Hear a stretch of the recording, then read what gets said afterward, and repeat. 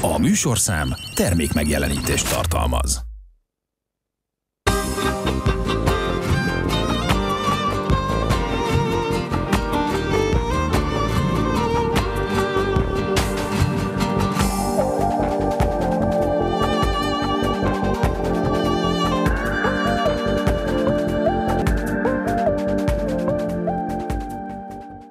Szép estét kívánok, köszöntöm az Agrárinfo nézőit. Nos, kedves nézőink, egy rövid híranyagban már beszámoltunk a búza aratásáról, amely a közelmúltban, az elmúlt héten befejeződött Fejér megye szerte, sőt mondhatom, hogy országszerte.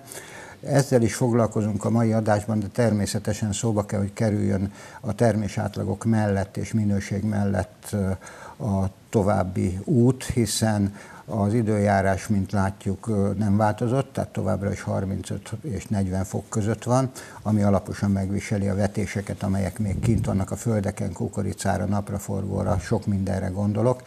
Többek között erről is fogunk beszélgetni. Vendégem Zászlós Tibor, a Nemzeti Agrárgazdasági Kamara alelnöke, maga is gyakorlati gazda, úgy tetszik, elnök vezérigazgatóként mezőfalván. Én azt hiszem, hogy ez egy fontos időszak és furcsa időszak örülök, hogy itt van velünk. Köszönöm szépen, szép jó estét minden kedves No, hát a komoly csapadékhiány, azt már megtapasztaltuk ebben az esztendőben, viszont már márciusban is volt nagy meleg, júniusban pedig beköszöntött az az idő, amit még nem tapasztaltunk meg. Én azt gondolom, hogy, hogy hazánkban az elmúlt száz évben beleértve a mostani helyzetet is. Igen, ez a klímaváltozás a mindennapjainkat öleli most már lassan át, és bizony tudjuk jó, hogy az őszi gabonák, e, tehát a búza tekintetében egy viszonylag későbbi vetések voltak pont a e, nedvesebb időszakok okán is, majd pedig egyszerűen ránk tört a tavasz utó, nem is a tavasz elő, meg a nyár elő. Tehát beszéltünk akkor arról, hogy a gyökérfejlődés az elmarad a vegetatív részek fejlődésétől, és nem tudja azt a nagy zöld tömeget jól ellátni ez a gyökér zóna, illetve a gyökér rendszer, hiszen hát nem teljesedett ki, nem volt rá ideje a fenofázisokban. Na most erre jött utána ez a nagyon meleg időszak, amely végül is egészen eltartott a búzának a virágzásáig. Na most a virágzáskor tudjuk, hogy a legnagyobb tápanyag szükséglete eh, van a növénynek, ugye a generatív eh, szaporodásnak az eleje, eh, és ott még a gyenge és gyengében kifejlődött gyökérzónába is fel tudta volna venni valamennyire, csak terméscsökkenés lett volna valamelyest a tápanyagokat, aminek két objektív oka volt. Az első az, hogy több gazda azt mondta, hogy egy kicsit takarékosabb lesz itt az elmúlt időszakok magas inputárai miatt, ott nem volt. A másik pedig abszolút értelemben a vízhiány. Pontosan látszik mezőfalván nálunk is, ahol egy szegmensbe, egy területünkön e, idézőjelnyités bezár véletlenszerűen esett 20 milli csapadék, a többin nem, ott étkezési minőségi búzánk van, a többin Takarmány. takarmány minőség van. Tehát ennyire befolyásolja az abszolút értelmű vízhiány eh, a termés minőségét, és hát nyilvánvaló a, a mennyiség, mennyiségét, mennyiségét is, is értelemszerűen. Ez miként jelentkezik az árakban, hiszen azt láttuk, ugye beszéltünk róla, hogy a, jelentősen rövidült a tenyészidő, ami azt jelenti, hogy ez a termés eredményekre, illetve a minőségre is hatással van. Igen, egyetlen mondatba visszatérve, majd a május végi, június első napjainak a nagyobb esőzése, az pedig hát a majdnem kész szemeket elég alaposan kimosta a sikért belőle, ami már akkor majdnem készen volt a búza. Mondjuk azt, hogy ez különleges, hiszen nem ekkor szokott elkészülni, de bizony ugye lerövidültek a fenofázisok, és ezen belül is akkor jött az eső, amikor már inkább kárt okozott a búza vonatkozásába, természetesen nem más növényeket értek alatta, mint óriási hasznot ilyen tekintetbe. Viszont csak egyetlen száma, és nem számháborúzni akarok e, itt, Jelenleg mezőfarva és környékén 252 milli az a csapadék mennyiség, amely ebben az évben leesett. Tavaly ilyenkor 386 milli volt ugyan ebbe az időszakban, csak a tavalyi Tehát évben. Tehát nagyon-nagyon nagy mértékben csökkent, 150 milli, 130 milli abszolút hiány van, most csak nagyságrendet mondtam, és ez nagyon-nagyon hiányzik a talajból. Júliusban nem esett eső. Itt vagyunk, július közepén, és egyszerűen nem esett eső, és ez igen nagy problémát jelent, és hát ez nagyon-nagyon kihat majd a, a különféle árakra is, tehát a takarmányárakra, buzárakra, étkezésire. Hát láttuk már, hogy a étkezési búza az elhagyta a 70 ezret, és nagyon dinamikusan emelkedik felfelé. És persze itt most hivatkozhatnék arra, hogy még tavaly is többször említettem, hogy az étkezési búzának lesz piaca, lesz keletje, de hát most nem lehet azt mondani, hogy ez azért nincs ennyi étkezési búzánk, mert a gazdák nem figyeltek oda, stb. stb. Nem igaz. Nem igaz. Gyakorlatilag nagyon sokan szerettek volna étkezési búzát termelni, szerették volna ezt értékesíteni. Ez az időjárási szélsőségek még ott is, ahol tápanyag volt, nem tette lehetővé az étkezési búza termesztését, és ez nagyon nagy baj, hiszen továbbra is a takarmánybúzának kevésbé van eh, keres, mi több alig van kereslete, eh, ez majd talán itt a kukorica párhuzamba állításával majd élénkülhet, de ugye a kukorica rovására, mert bizony még pár hét, és a kukoricának hát nagyon súlyos gondjai vannak, de különösen lesznek. E, tehát ott a szemkiteljesedés, e, mert a csőkötés, a csövön a magoknak a kötés az megtörtént, e, és azért nincsenek a csövön kötés hiányok ilyen tekintetben, viszont egy biztos, hogy a szemkiteljesedés nagyon komoly gondokat okoz, hiszen hogyha elszárad a növény ideje korán, akkor bizony csak hát mutatóba lesznek olyan szemek, ami használható. Tehát egy a, a nagyon fontos következtetés van, hogy az étkezési búza az nagyon szárnyal fölfelé, és hetek alatt átrendezheti az asszály az egész takarmánypiacot, és újraírhatja, tehát ilyenkor nagy jóslásokba bocsátkozni nem lehet, tehát pontosabban csak jóslásokba lehet bocsátkozni, eh, aminek olyan nagyon nagy értelme nincs, mert az alapjai inokhatnak meg bármilyen hipotetikus elképzelésnek, amit most Tehát ha, megfogalmazom. Ha arról beszélünk, hogy mi történt itt a mezőföldön, azért mégis csak itt vagyunk a mezőföld szívében, de ha kitekintünk, akkor az Alföldön még rosszabb a helyzet, hiszen láthattunk különböző tudósításokat a búzáról és az összes többi olyan haszonnövényről, ami azért gyakori. Ugyanakkor egy-két szót, nyilvánvaló, hogy az ukrán és az, orosz búza, illetve hát azt mondom, a teljes Kárpát-medencére ez vonatkozik, úgyhogy azok az intézkedések, amelyeket a szaktárca megtett a kamarával karöltve, azok most nagyon-nagyon fontosak. Hmm, rendkívül fontosak, de ha most megnézzük Európának és egy kicsit a Kelet-Európának a hőtérképét, akkor látható, hogy ez a e, rendkívüli meleg, ez kiterjed Ukrajnára, Oroszországra, tehát e, hihetetlen száraz időszakok vannak ott is, és a múltkori beszélgetésünkkor említettem, hogy a 90 millió tonnás e, előrejelzést a orosz mezőgazdasági minisztérium 81 millió tonnára redukálta. 10 százalék már ezt is redukálta tovább.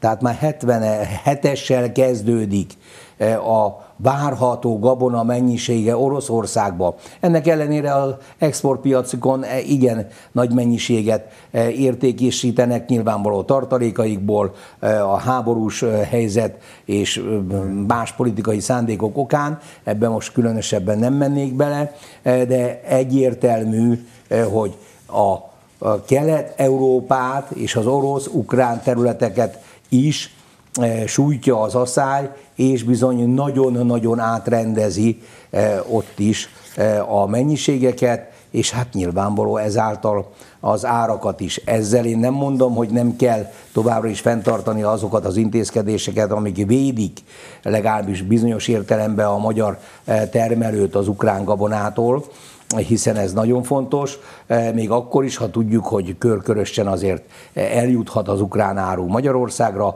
e, de e, úgy néz ki, hogy mivel a minőségi étkezési burzára van Európa szerte kereslet, Hát ezzel nem rendelkeznek az ukránok. Az árpáról azért nem beszéltünk, mert ugyanez történt, mint a búzával. Tehát... Az árpa a érdekes módon 5,7 tonna átlagtermést hozott, befejeződött az árpa raktása. Az árpa hektoliter súlya kiváló volt, és ez ugye az elmúlt évek be nem mindig volt így.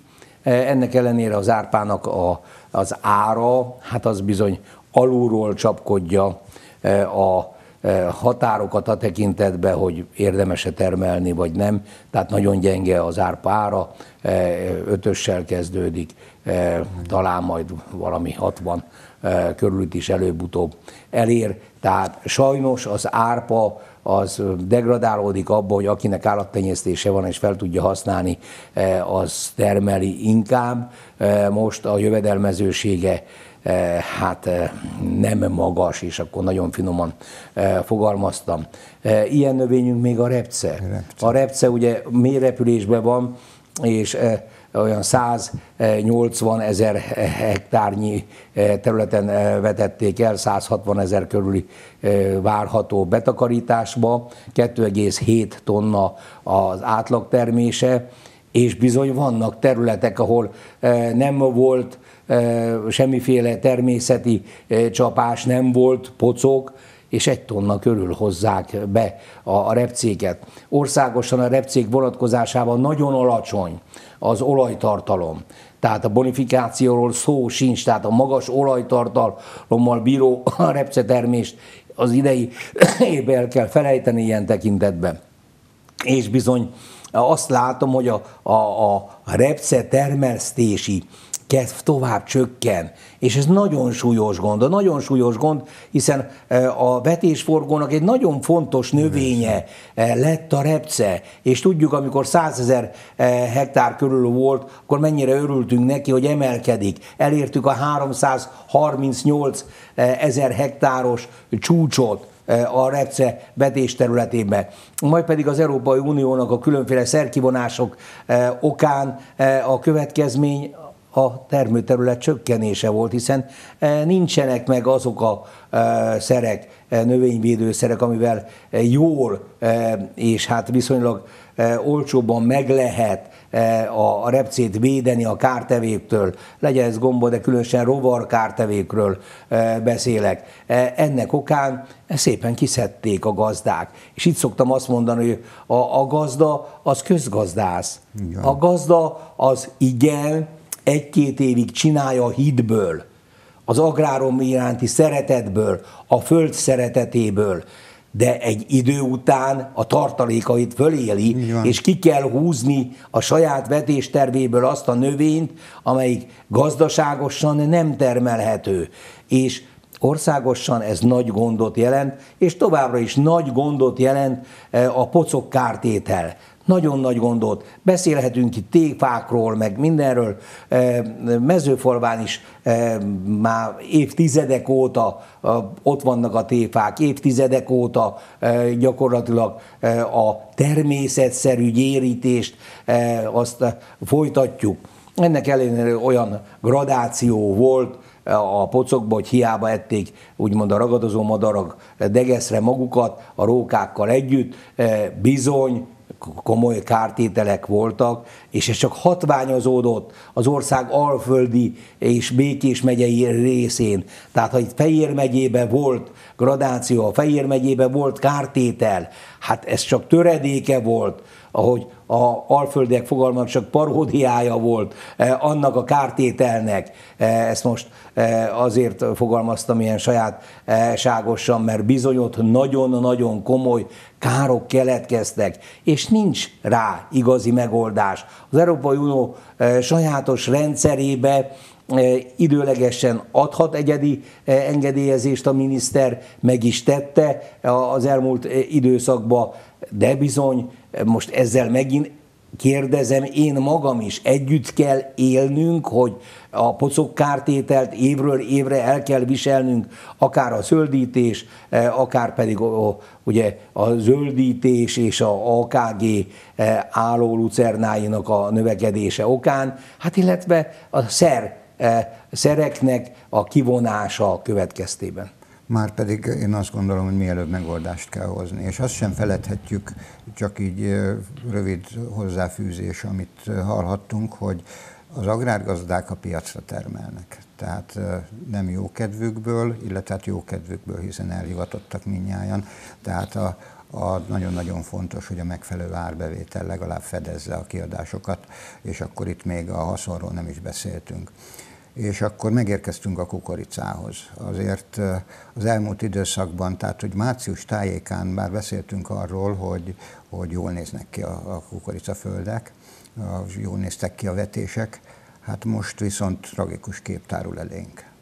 Hát most nagyon tragikus kép tárul elénk, és ahogy előbb is említettem, még egy-két hét, a kettő sok is, teljesen átrendeződik a kukorica várható termés átlaga országosan. Tehát úgy, hogy gabonában, ugye a nyugati ország részben van a legnagyobb mennyiségű termés átlag, és ott minőségbe is kimagaslók. Az Alföld, Jász Nagykönszolnok megye, és hogy ne sorolom Pest, más alföldi megyéket, bizony siralmasabb a helyzet. Ez várható jelenleg a kukoricába is. Eh, ha nem is a nagy eh, elmúlt években évszázados asszályról eh, beszélünk, ugye három évvel ezelőtt, gyakorlatilag ha nem is az a méretű, de a kukoricát nagyon komoly asszály sújthatja.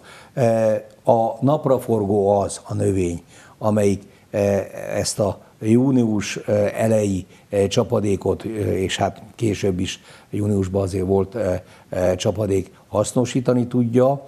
Azt talán már a, úgymond kibírja a betakarításig, annak ellenére, hogy persze jó lenne neki is a csapadék, tehát félreértés ne essék, de mi lesz ennek a következménye? Az, hogy a napraforgó kiszívja a földből az utolsó csepp nedvességet is idézőjelbe, mert nyilvánvaló vannak e, olyan e, korrolív vizek, amit nem e, tud elérni, de most ez ne tudományoskodjunk. Tehát a sima gazda szemével, ha nézzük, tehát szárítja a talajt szárítja, mert a legjobb vízfelhasználók egyike a napraforgó. Na most meg lesz a napraforgó termés, és utána gondoljuk el, hogy majd azt az őszit, vagy valamilyen más növényt utána teszünk, milyen arid viszonyok közé teszünk majd be, milyen száraz viszonyok közé teszünk be.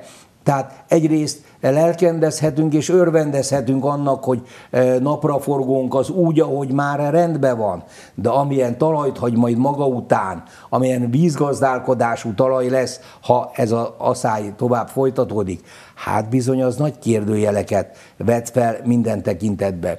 És bizony e, egyet látni kell, e, és én nem vagyok vészjósló, nem akarok itt mindenféle jövőbeli dolgokról beszélni de ahogy itt többször is elmondtam, hát most már különösen megint növekszik, ugye az altalajvíz és a felső vízrétegnek az összeérése most megint növekszik a különbség.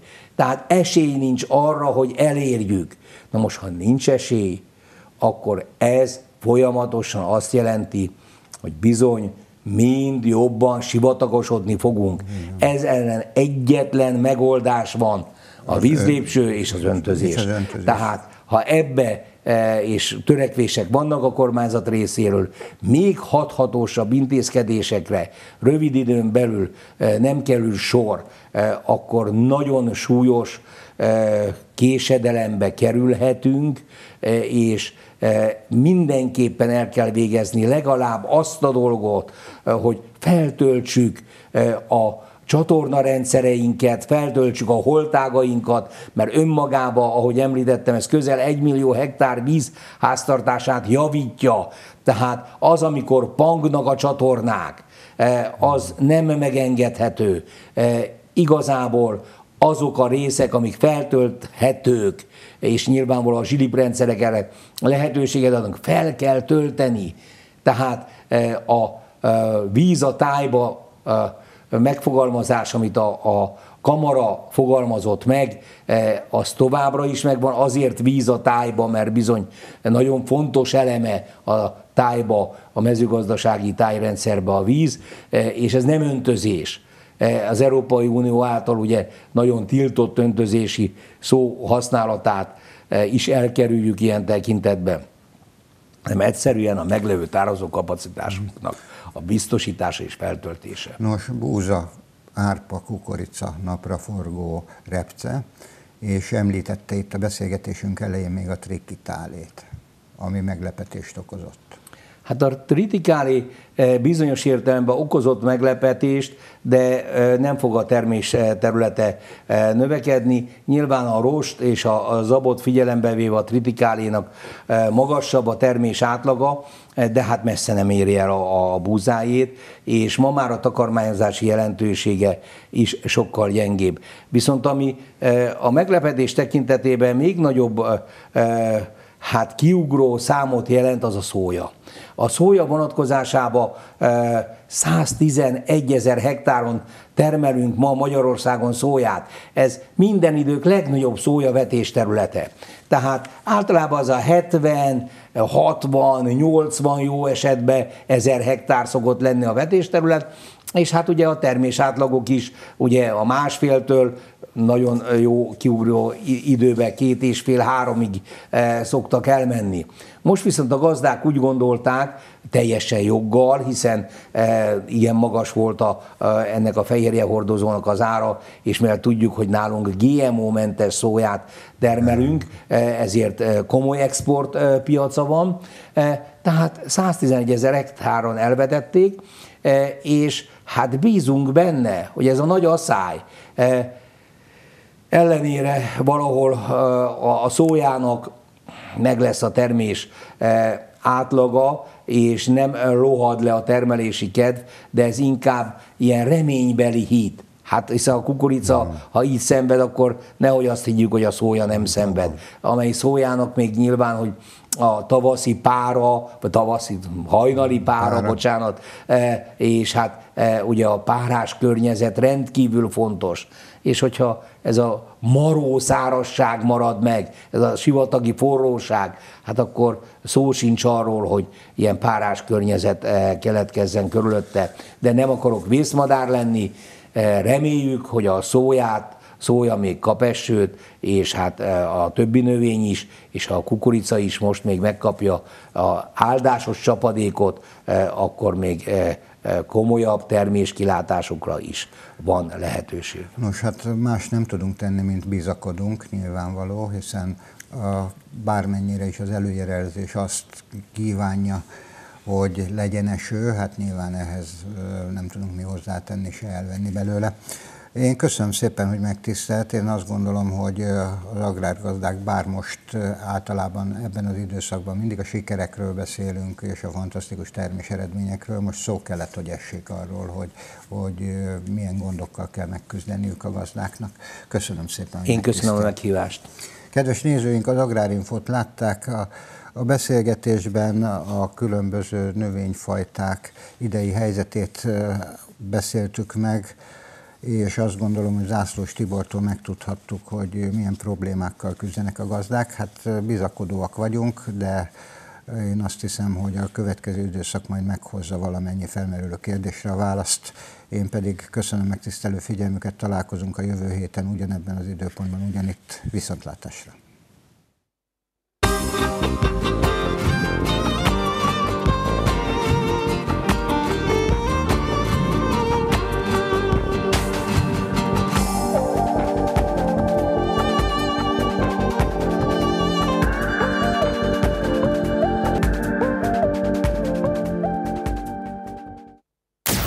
Műsorszám termék megjelenítést tartalmazott.